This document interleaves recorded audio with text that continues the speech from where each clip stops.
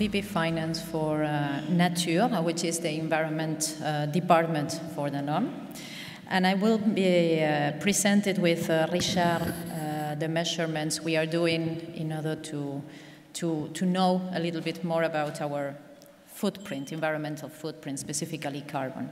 So basically, uh, uh, the way we decided to go is really not easy. Uh, we will uh, see a little bit further, but uh, at least the decision to work on nature was easy. It was easy basically because it is a clear mandate coming from our mission, from our group's mission, which is to bring healthy food to as many people as possible around the world. So, uh, as you can see, uh, healthy food comes from a healthy nature. So, in order to uh, be, be, be sure to comply with this mission in the long term, we have to take care of nature.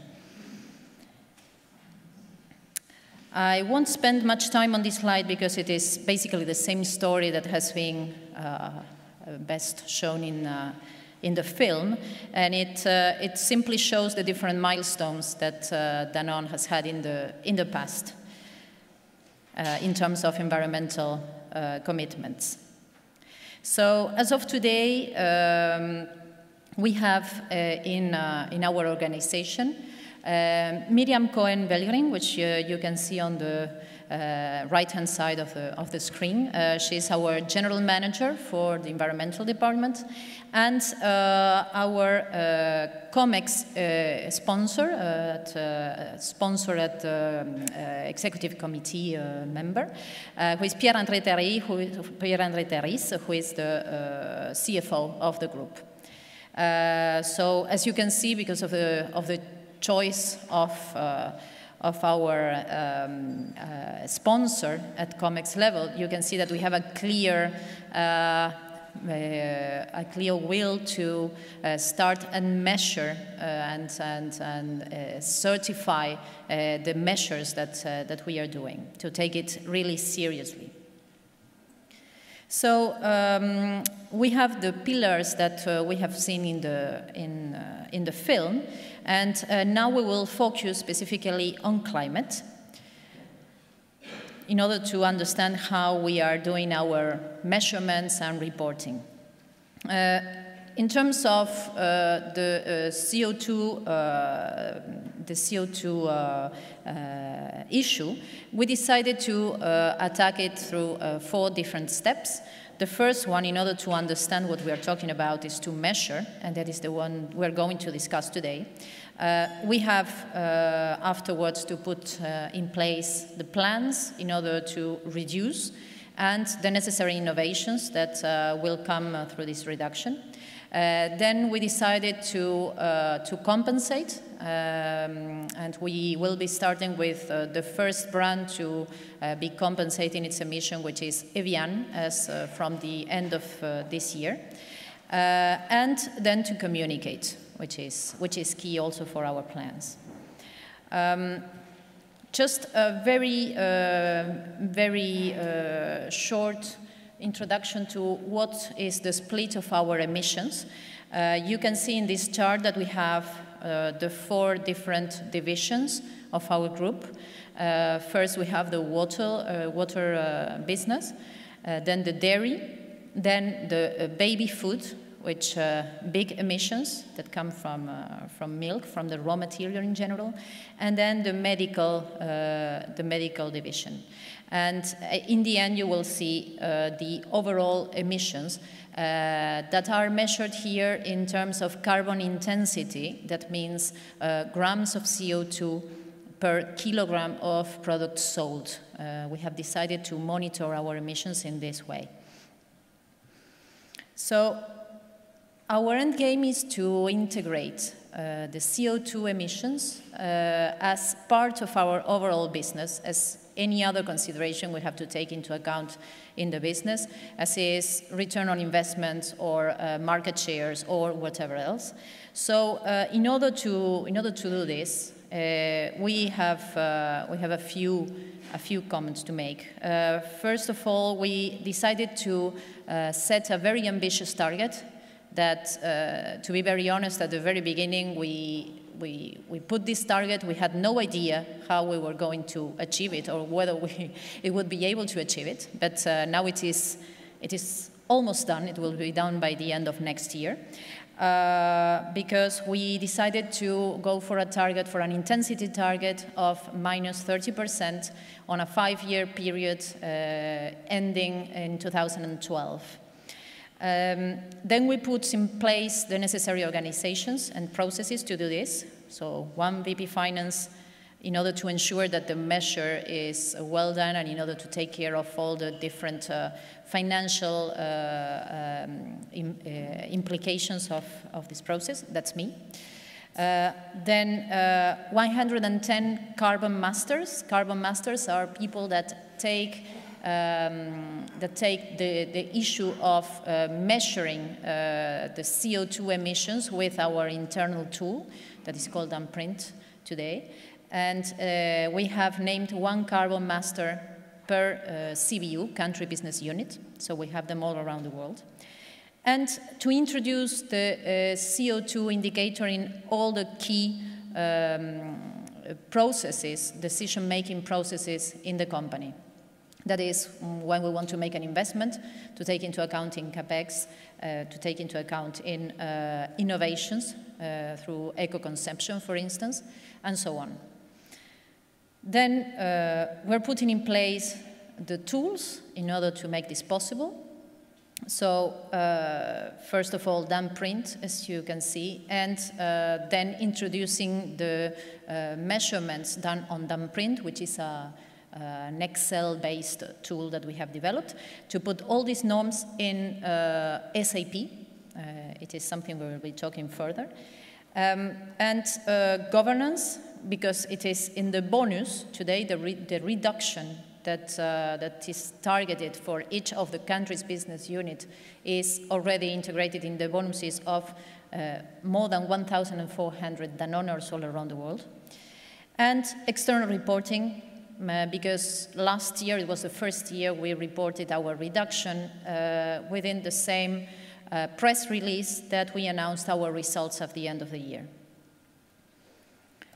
So when we started this long journey of uh, reducing CO2, we had, we had to choose. We had to choose between two different ways of doing it. Uh, this, I'm sure you know as well as I do. So, what happened? I don't know what happened. Ah, well, No. Yes? No? Okay. Okay.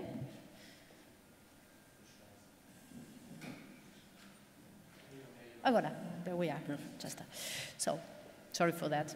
So, um, so we had at that time, mm, a few years ago, three years ago, we, uh, we had GHG protocol, which was, I'm coming from finance, sorry, I'm taking some shortcuts here in terms of the, of the names of the things, but for me it was kind of taking the general ledger of a company and seeing the actual, uh, let's say, consumptions of materials, for instance. So it was the total amount of fuel, the total amount of coal, the total amount of gas, etc., etc. And that is just taking into account scope one and two, which was what, was, uh, what existed at the moment. And PAS 2050 on the other side, which was not based maybe on actual consumptions, but it was a good idea of uh, the total emissions all along the, uh, the life cycle of a product. Uh, we decided that we would go for the PAS 2050 at that time because uh, what we wanted to understand is the processes, and this was mentioned in one of the presentations before, and I, and I thank you for that, because it, it was exactly what we were looking for. Uh, we we uh, decided to go the most difficult way because we wanted to understand which were the processes that were generating our emissions so that we could actually act on this and put in plan, uh, to, to put in place reduction plans that could enable us to achieve our goals. So uh, we did something which, I don't know if we were the only ones in the world to do this, but basically what we did is, by doing all the uh, PAS 2050s, all the life cycle analysis of all of our products, in the end, if we, make, if we if we sum up all that, we will attain a calculation which gives the total amount of emissions for the Group Danone, but on the total life cycle of all of our products. That is ambitious. Uh, so at, uh, at, the very beginning, we decided to uh, approximate this calculation with Danprint, uh, which is what uh, we're doing until last year. Um, so basically, we take product families with different samples of products that are very representative of the different of these different families of products. And uh, we measure these samples and then we extrapolate for the total volumes of the different family products. And then we make an addition of all the companies all around the world, all the calculations of the 110 carbon masters that you have seen before, and we get a total amount of emissions for Danone that are estimated today at uh, 14 uh, million tons on the overall uh, uh life cycle of the products. Uh, what we are trying to do now, what, what we are doing now, and we are going live in many country business units, is to stop making these uh, approximations and extrapolations and to actually have the, the 100% of our SKUs, uh, total products, measured according to PAS 2050 and to actually have, uh, have the, the, total sum of all these products around the world. And this is what I will leave you with uh, Richard so that he will explain to you. Thank you.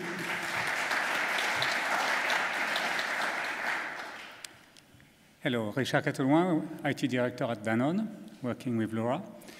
Uh, sorry. Uh, as uh, Laura said, uh, they decided for the more uh, complex and challenging approach, and then they turned to the IT. And the question was how to do it, because Excel is nice, very flexible, very user-friendly, and so on. But the question is how to manage for more than uh, 30,000 uh, SKUs, uh, for uh, more than 100 uh, companies within the group, with accurate and more and more accurate data and so on. question is, is tough. they wanted not only some tool which is reliable, but also something which is integrated uh, to populate uh, data as much as possible automatically from uh, dif different sources to have something that can be uh, audited, of course, because uh, as we publish externally, we need to, to audit, and uh, to, to have some reporting and facilities to, to, to, manage this, this topic. So the question was, was there. We decided to go with SAP because we are SAP uh, uh, ERP uh, equipped. it is our ERP, as many companies. So we decided to go to SAP and we co-innovate with SAP. Uh, again, uh, decision was to, uh, to, to, to, rely on the uh, life cycle analysis of the product. So this was modelized already within the Excel sheet, so we knew uh, most of the, the, the different uh, topics. It was very clarified, the different steps, phases of the life cycle uh, we had a good understanding. We have already accumulated data, but it was painful to, uh, to uh, upload and to maintain it with, within Excel. And you can imagine that it was only a sampling approach within Excel. With SAP uh, solution, we were able to, uh, expecting to collect data automatically and to have a, an exhaustive approach. So we modelized uh, this uh, Danprint tool within an SAP tool, and uh, we, uh, we went to the result. Basically, if I want to make it quite simple, uh, the solution uh, we built with SAP is composed of two modules, two sub-modules, because it's one solution. first one module, sub-module, is composed of the emission factor, all emission factors are gathered in tables within this uh, module. And the second uh, module is a calculation. In between, of course, we are sourcing lots of information from the ERP because uh, all, our process, all, our processes are managed within the uh, ERP. So uh, if, you uh, if you have the combination of the emission factors with the real volumes and all the different steps of the cycle, you can calculate your carbon footprint per SKU. And this is what we are doing uh, currently. So this has been done in 2010, and now in 2011, we are in the rollout phase uh, all over our uh, subsidiaries. With this tool, we are able to uh, calculate the footprint and to, to, provide to the business some uh, dashboards. We are able uh, to uh, aggregate in different uh, dimensions, either the SKUs brand or sub-brand, per site or per CBU or per divisions. We are also, um, it's a monthly analysis, eh? as the ERP, so it's uh, exactly the same uh, cycle. So it's not a one-year calculation, but every month. Once we have uh, closed the financial uh, calculation, we move to the uh, carbon calculation, and so it's a, it's a monthly analysis, exactly the same cycle as the financial. Where do we stand today? We, at the end of this year, will have more than 50% of the turnover of the companies that will be covered with this tool. All our CBUs are not yet SAP, but it's a program we are uh, uh, running currently. It means that uh, the, 20, the 40 uh, more important country business units will be covered by end of next year. Half will be at the end of this year. And now, uh, not only we are running uh, the rollout, but we are already working to extend to some more advanced reporting, to some simulation capabilities, because getting the actuals is one thing, but uh, the, the, the, ultimate objective is to, uh, to enable the business to uh, simulate, to calculate, and to address the more exciting action plans. And then, next step, we are uh, working on for 2012 is to enlarge this solution to the water footprint. Thank you.